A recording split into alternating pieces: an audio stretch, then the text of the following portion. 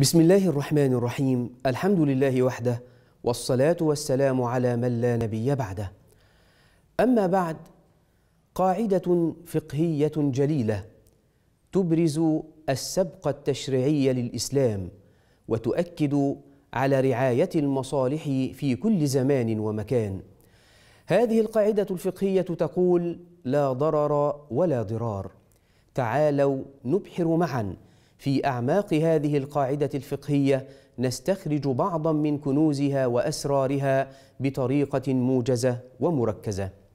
أولا هذه القاعدة الفقهية لا ضرر ولا ضرار هي في أصلها حديث صحيح أخرجه لنا البيهقي والحاكم وغيرهما عن سيدنا أبي سعيد الخدري رضي الله تعالى عنه أن سيدنا رسول الله صلى الله عليه وسلم قال لا ضرر ولا ضرار. إذا هذه القاعدة الفقهية هي في ذاتها نص حديث صحيح صريح جاء على لسان سيدنا رسول الله صلى الله عليه وسلم. ثانيا ما هو الضرر وما هو الضرار وما الفرق بينهما؟ الضرر هو إنزال الأذى بالنفس والضرار هو إنزال الأذى بالغير.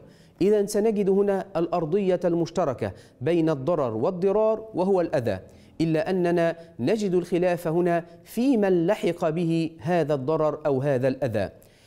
والمقصود هنا من الأذى هو كل أذى سواء كان نفسيا أو بدنيا أو أدبيا أو ماليا كذلك لا فرق بين أن يكون الذي لحقه الأذى فردا أو جماعة مسلما أو غير مسلم مواطنا أو أجنبيا إنسانا أو حيوانا أو جمادا. من أين أتينا بهذه الشمولية؟ كل أنواع الأذى كل من لحقه الضرر. من أين أتينا بهذا الشمولية؟ بهذه الشمولية أتينا بها من كلام سيدنا رسول الله صلى الله عليه وسلم. من هذا النفي الذي أفاد النهي واستغرق هذا النهي لا ضرر ولا ضرار فهذا النفي الذي أفاد النهي كأننا استفدنا منه التحريم لكل نوع من أنواع الأذى. هذا الحديث الشريف إذا كان الضرر فيه يعني جاء ضمنا فقد جاء في النص القرآني صراحة ولا تلقوا بأيديكم إلى التهلكة ولا تقتلوا أنفسكم حين ننظر أيضا إلى هذه القاعدة الفقهية الجليلة نجد أن امتثالها يكون من خلال أمرين لأن الضرر إما أن يكون واقعا وإما أن يكون متوقعا.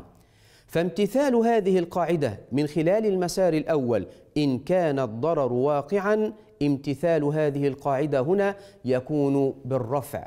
وامتثالها في المسار الثاني إن كان الضرر متوقعا فالامتثال هنا يكون بالدفع. نستطيع أن نقول الضرر إما أن يكون واقعا وإما أن يكون متوقعا فإن كان واقعا يرفع وإن كان متوقعا يدفع. ما معنى هذه العبارات بطريقة سريعة وموجزة؟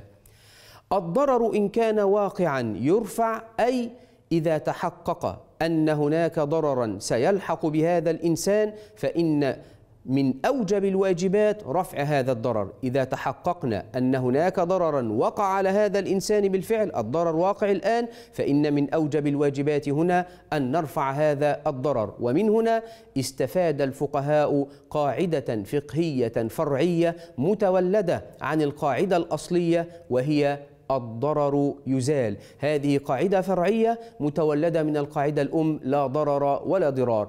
أمثلة هذا الأمر ما نجده من اعتداء على المرافق العامة. ما نجده مثلا من صرف مخلفات المصانع في نهر النيل. ما نجده من أي تلوث يلحق بالبيئة لأن هذا يؤثر على هذا الإنسان. فكل أذى يتحقق وجوده يلحق بهذا الإنسان هذا ضرر واقع والتعامل معه يكون برفعه أي بإزالته. أما المسار الثاني إن كان الضرر متوقعا أي يتوقع أن يكون هناك ضرر فإن التعامل معه يكون بالدفع.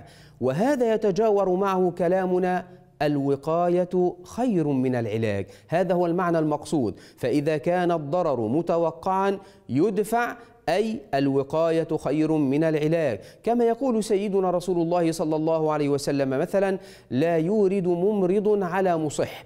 فالنبي صلى الله عليه وسلم هنا يعني يدفعنا إلى أن ندفع هذا الضرر الذي من الممكن أن يتوقع أو أن ينزل بالإنسان أو أن يلحق بهذا الإنسان. كما فعل سيدنا عمر بن الخطاب رضي الله تعالى عنه وأرضاه حين امتنع أن يدخل على بلد بها الطاعون. فقالوا له أتفر من قدر الله؟